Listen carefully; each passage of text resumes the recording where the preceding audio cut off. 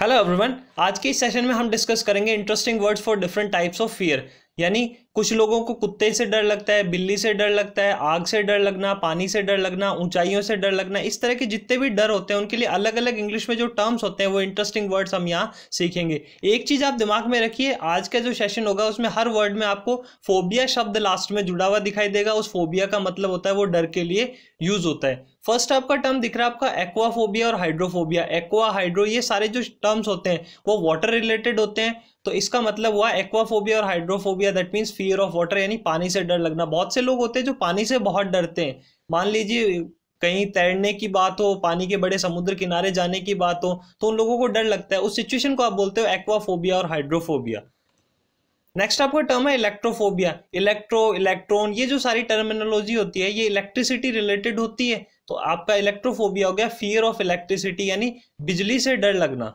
Next आपका term है, नॉक्टिफोबिया और निक्टोफोबिया। देखो, एक पहले हमने टर्म सीखा था, निक्टोफाइल। पिछले पहले के सेशंस में हमने देखा था, निक्टोफाइल लास्ट में फ़ाइल दिखा मतलब उस चीज़ से आपको लगाव है उस चीज़ को आप पसंद करते हो और निक्टो नाइट के लिए यूज़ होता है। तो यार, निक्टोफोबिया का जो मतलब होगा, वो आपका फियर ऑफ़ नाइट यानी जो लोग रात के अंधेरे से बहुत डरते हैं, उसको आप बोलते हो निक्टोफोबिया।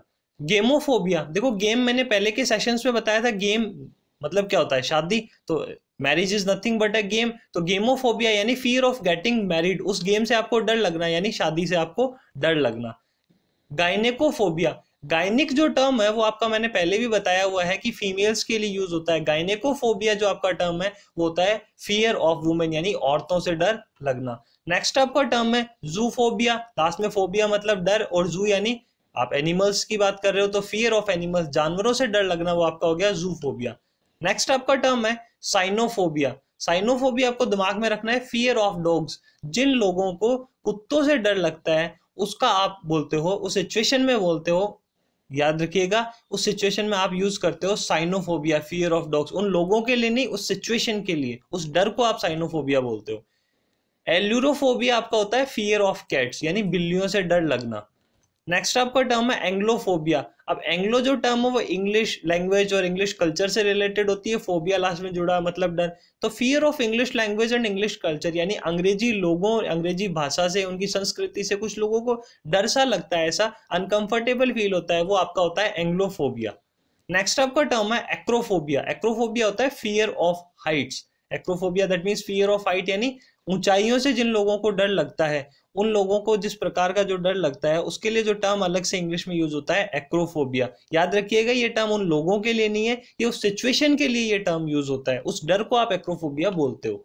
पायरोफोबिया होता है फियर ऑफ़ फायर आग से जो डर लगता है, उसको आप पायरोफोबिया बोलते हो। नेक्स्ट आपका टर्म है क्रोमोफोबिया अब chromophobia that means fear of colours यानी रंगों का अलग अलग प्रकार के रंगों का जिनको डर लगता है ये भी एक अजीब सी बीमारी होती है तो उस सिचुएशन में आप बोलते हो क्रोमोफोबिया नेक्स्ट आपका टर्म है एकाउस्टिकोफोबिया एकाउस्टिक जो टर्मिनोलॉजी यूज़ होती है, वो हमेशा साउंड के लिए यूज़ होती है। तो एकाउस्टिकोफोबिया आपका हो गया फियर ऑफ़ नॉइज़ यानी शोर शराबे शोर शराबे से आपको डर लगना।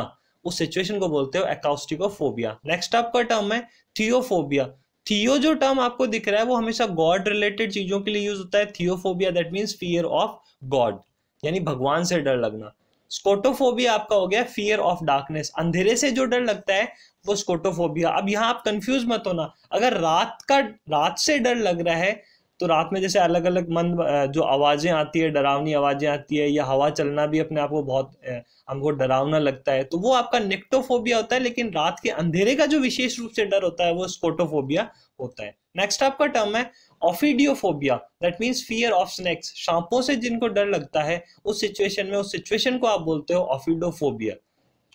नेक्स्ट आपका टर्म है एंड्रोफोबिया और होमिनोफोबिया, ये होता है आपका fear of man fear of man आपका हो गया एंड्रोफोबिया और होमिफोबिया मतलब आदमी से डर लगना, औरत से डर लगना, उसके लिए ऑलरेडी हमने एक वर्ड देखा था गायनेकोफोबिया नेक्स्ट आपका टर्म है क्लस्ट्रोफोबिया देखो क्लस्ट्रोफोबिया जो टर्म है, उसका मीनिंग होता है फियर ऑफ़ स्मॉल और कन्फाइंड स्पेसिस क्लस्टर का मतलब होता है एक झुंड सा. तो अगर झुंड है मतलब कोई सीमित जगह में लोग हैं तो क्लस्ट्रोफोबिया का मतलब होता है fear of small confined spaces मतलब छोटी सी जगह या जो जहाँ पे एक छोटे से स्थान में आपको कहीं आप अनकंफर्टेबल फील कर रहे हो तो सिचुएशन को बोलते हो क्लस्ट्रोफोबिया नेक्स्ट आपका टर्म है मोनोफोबिया मोनो मैंने आपको पहले एक रूट वर्ड एक सेशन में बता रखा है कि मोनो जो यूज़ होता है, वो वन पर्सन के लिए यूज़ होता है. तो मोनोफोबिया यानी अकेले रहने से, यानी खुद को, अकेला मतलब खुद तो फियर ऑफ़ बीइंग अलोन अकेला रहने से जिनको डर लगता है, कुछ लोग होते हैं, वो अकेले रहते हैं, बहुत डरते हैं या बोर, बोरियत फील करने लगते हैं. तो उस सिचुएशन को आप बोलते हो मोनोफोबिया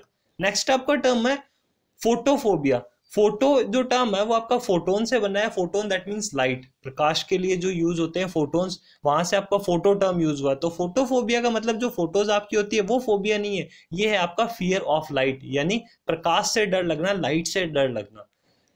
फिर आपका एक नेक्स्ट टर्म अगला बहुत ही शानदार सा शब्द है. बहुत से लोगों को नंबर तेरह से डर लगता है. नंबर थर्टीन जो आपका होता है, वो उनको अशुभ लगता है या उनसे उनको डर लगता है। तो इसके लिए जो आपका टर्म आपको स्क्रीन पे दिख रहा है, वो है ट्राइस्केडिक ट्राइस्केडिक अफोबिया ट्राइस्केडिक अफोबिया ठीक है? ध्यान से देखिएगा fear of the number thirteen के लिए आपका ये अच्छा सा ये वर्ड यूज़ हो रहा है। दो चार बार आप इसको प्रैक्टिस कीजिए, आप भी इसको सीख जाएँगे।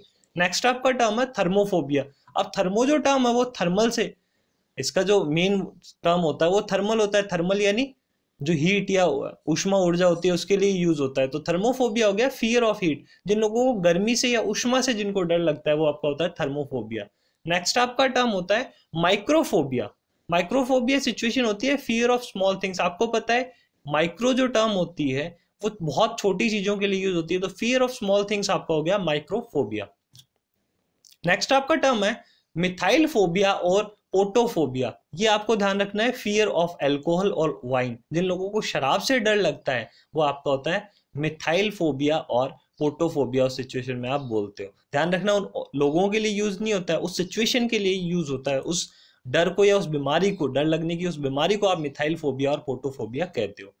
अब नेक्स्ट आपका टर्म है एरिथो एरिथमोफोबिया और न्यूमरोफोबिया। एरिथमोफोबिया और न्यूमरोफोबिया, जिसका मतलब फियर ऑफ़ नंबर्स जिन लोगों को नंबर्स यानी जो डिजिट्स होते हैं, उनसे डर लगता है।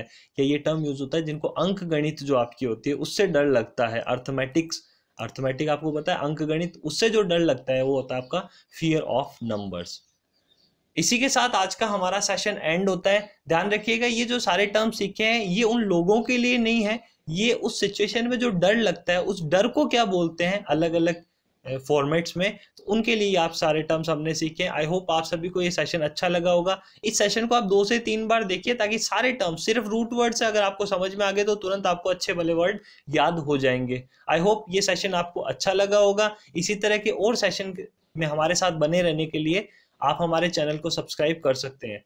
तो now keep learning keep growing take care bye see soon keep smiling